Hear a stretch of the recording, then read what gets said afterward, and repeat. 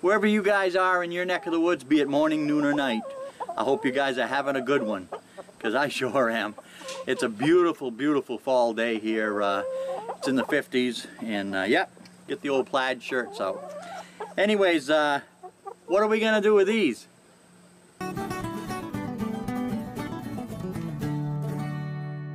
Well, we're going to take this, this, this, and this is going to become our project for the day. What I basically got here is a piece of two inch pipe about eight inches long. Actually, I think this piece is about eight and a half inches long. The length doesn't really matter as long as you don't go too, too long, but I wouldn't go anything shorter than eight inches up to a foot or so.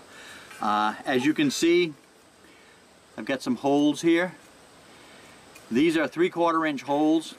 You can use a spade bit, uh, a uh, auger bit, various types of bits to get that taken care of.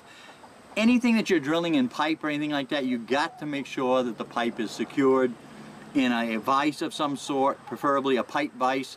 Just secure it very well uh, because if you don't, this thing is going to come whipping around at you and, well, you're going to be visiting the emergency room. That's all there is to it. Anyways, uh, so you get your hole, you get your pipe cut, you get your holes in it. I didn't take these screws out because I've got them set exactly the way I like them. Basically, these are, I don't know if you can see these. These are self-tapping screws. Okay, they got a little drill bit on the end. And these particular screws here are uh, about three quarters of an inch. The ones I've got in here are one inch. Okay, and all you're going to do is you're going to take this piece of pipe, purchase yourself an end cap, two inch end cap, and this is all schedule 40 by the way, you need the thicker parts, trust me. Okay, then you're going to put that on here, like so, okay. Alright, and then what we're going to do, we're going to take these pieces here, whoops, okay, now you can glue these. I don't glue them for the simple reason is, I like to take things apart if I need to. Okay. Okay, what we have here is a 3 inch carriage bolt, a self-locking nut. It has a nylon bushing on the inside so it'll lock itself instead of backing out. Then we have a couple washers of various different sizes. Uh, in your own instance, you can use what you want. Basically, what you're trying to do is uh, sandwich this piece of rubber, which is a, uh, a thick, heavy washer. It's a rubber washer you can get at a hardware store and I also have a rubber washer on the inside there with a flat washer. Okay, the reason why you use the rubber, it uh, if you put metal against plastic and you start working it back and forth and stuff, you're going to crack it after a while. So anyways, you put your, your uh, carriage bolt, uh, washer and rubber on first, making sure the rubber is attached last. Okay, slide it down through the hole that you're going to drill in this two inch uh, PVC pipe cap, okay? And then you're gonna put a rubber on here, couple washers, the nut, snug it up. Now you don't want to snug it all the way, you want a little bit of play with there. For the simple reason is, what you're going to do, this will self-center it for you. Okay? Kind of run it like that, slow, and kind of watch it. What you're looking for is no wobble. Okay, if you get a little bit of wobble, kind of adjust it with your hand a little bit. You might have to play around snugging this up back and forth just so it'll hold its shape. Then you spin it again.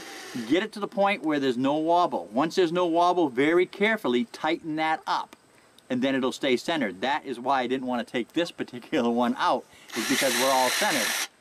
Okay, if you get that whole apparatus together in the drill, now I think you've guessed it by now, This is going in here, but not green like this. Uh, I've got a few pieces of dried. Uh, most of all the corn that we've got is not dried yet. Uh, corn dries up here very late in May, and it's not uh, it's not like you guys down south. Everything dries up and shrivels. So, uh, well, we've got our device here, and uh, if you want to know more about this and exactly how to put it together, you can uh, private message me, and uh, I'll give you a, a little bit better detail of it and whatnot. I, like I say, I made this last year, either that or the year, I think it was the- actually the year before last. Can you wait? I guess not. Okay, very tightly, the first few, few inches to get yourself a handle.